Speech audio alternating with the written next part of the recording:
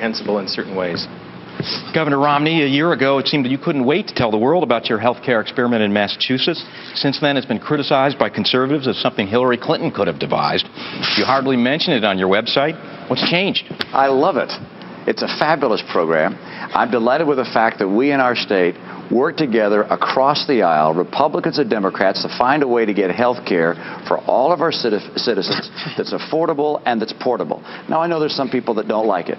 But when it came time to vote, you know, we won 198 to 2. The Heritage Foundation worked on it with us. We had people on both sides of the aisle. Now I know there's some people who wonder about it. Senator Kennedy at the signing of the bill, we were all there together. He said, you know, if you got Mitt Romney and Ted Kennedy agreeing to the same bill, it means one thing. One of us didn't read it. But I helped write it. And I knew it well. And this is a country that can get all of our people insured with not a government takeover, without Hillary care, without socialized medicine. Instead, get the market to do its job. Let people have health care that they can afford.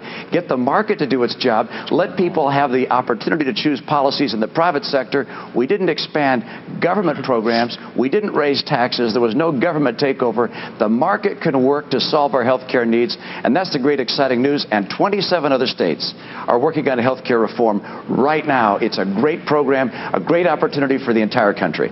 John? Senator McCain, some of your colleagues have been hit pretty hard on flip flops but you now support extending President Bush's uh, tax cuts, but you originally voted against them. That makes no sense. Because in the proposal that I had, there were significant tax cuts, and the thing that bothered me was that there was no provision to start addressing Social Security or a contingency. We had a contingency called the Iraq War, and we had no restraint on spending and spending got completely out of control. Yes, these tax cuts need to be made permanent, otherwise, they'll have the effect of a tax increase.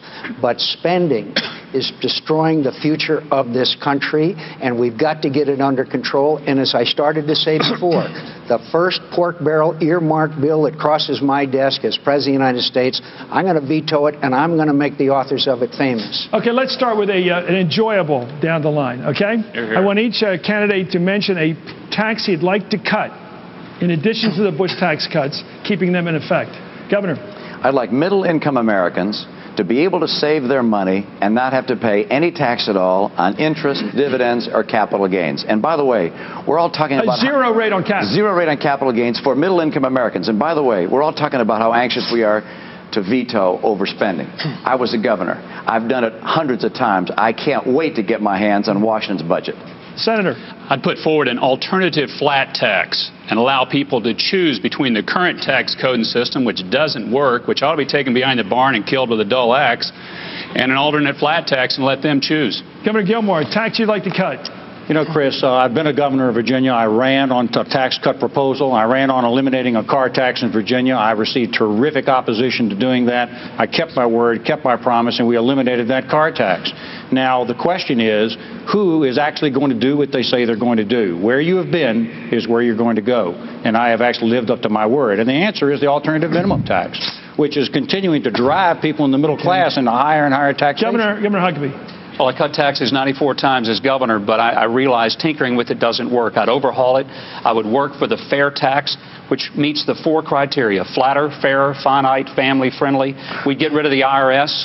We'd get rid of all capital gains, income, corporate and we'd have a consumption tax. The fair tax proposal, I believe, offers the best opportunity for all levels of America. Congressman, your turn. Uh, absolutely. Uh, uh, Chris, uh, you know, right now our manufacturers are getting killed. Uh, we're seeing manufacturing move offshore because the dumb trade deal that we signed with the rest of the world allows all of our exports to be taxed twice while their exports to us are not taxed at all.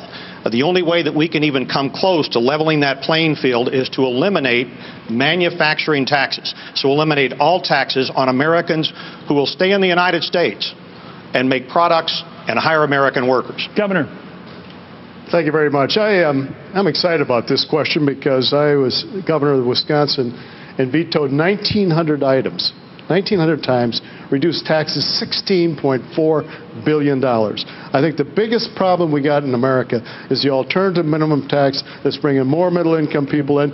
Let's put it in. Let's have the people have a flat tax and have the option of paying whichever is least.